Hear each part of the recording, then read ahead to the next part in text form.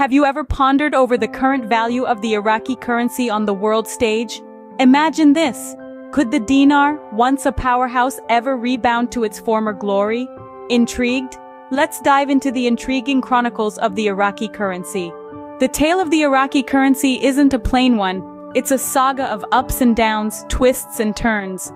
It all started in the early 20th century when the Iraqi dinar was introduced, replacing the Indian rupee. The currency was initially pegged to the British pound and later to the US dollar.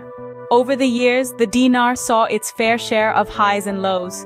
The golden era was in the 70s and early 80s when the value of one dinar was more than 3 US dollars.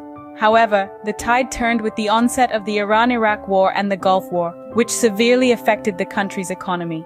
The dinar's value plummeted and hyperinflation took hold. The Iraqi government was forced to print money to meet its obligations, which only added fuel to the fire. Fast forward to the 21st century, the dinar is still struggling to regain its lost glory.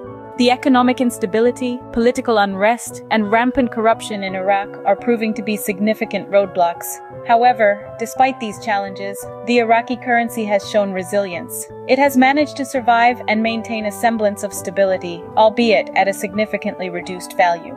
Now that we've traversed the path of the Iraqi currency, let's summarize what we've learned.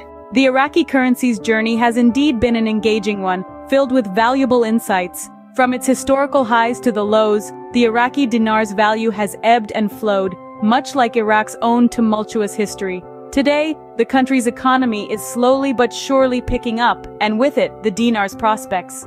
So will the currency of Iraq ever regain significant value on the world stage? Only time will reveal. Until then, keep an eye on the Iraqi dinar a currency with a story as rich as the nation it represents. Thank you for being a part of the Goatwater Forum and stay agile and adaptable, just like our goat friends. Before you go, subscribe, like, and click the notification bell. It is helpful with getting more content exposure.